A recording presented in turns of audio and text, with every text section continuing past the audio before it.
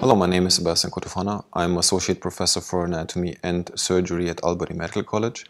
I'm the corresponding author of this paper termed Age and Gender Differences of the Frontal Bone, a CT-based study.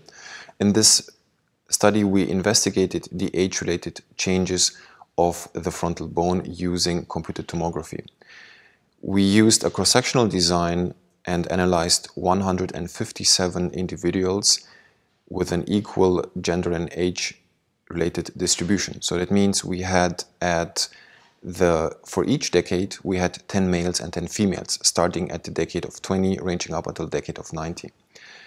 We found out which was very surprising to us that the changes of the forehead are much more complex than we expected.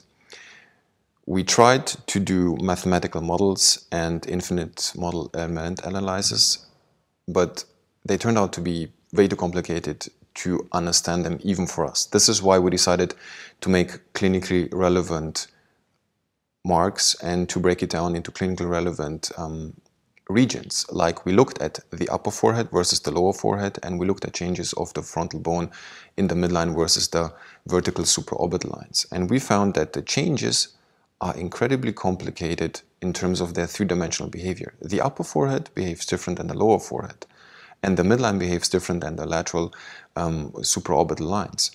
And this also differs between males and females.